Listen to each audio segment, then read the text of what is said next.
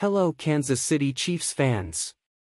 Today I bring you some incredible news. It looks like we've finally found a replacement for DiCaprio Bootle.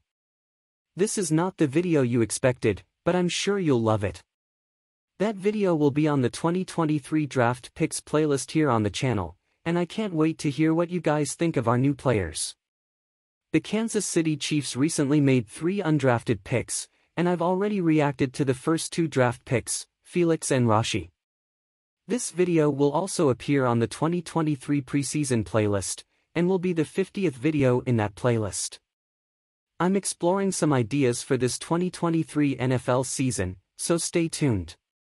The Kansas City Chiefs are the only thing I talk about on the channel, so if you find yourself here by chance but not by design, consider hitting the subscribe button to stay up to date with the multiple videos I put out every week, between 4th and 7th week.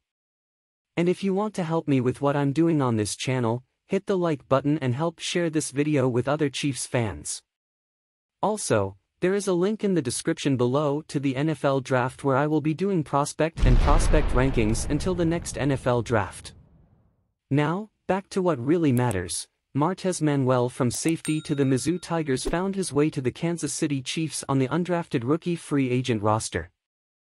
Martez is 1.83 meters tall, weighs 98 kilograms and ran a 40-yard dash in 4.60 seconds on pro day. He had a hip injury during the test, but that didn't stop him from having a 34-inch vertical leap and a 10-foot wide jump. Martez isn't a prospect that's going to impress anyone physically, but he racked up 194 tackles in college, which is pretty exciting for any position, even a linebacker. He also had 25 tackles for loss at the safety position, as well as 11 sacks. Martez's handbook was expected to be a fifth or sixth round pick, but it ended up falling into draft hands. I don't believe that Martez playbook is a threat to get on the roster and start playing, but he could spend some time learning the endgame system in practice squad and, as always with the sport of football, as players fall during the season, Martez is a guy who can step onto the field right away and not be embarrassed.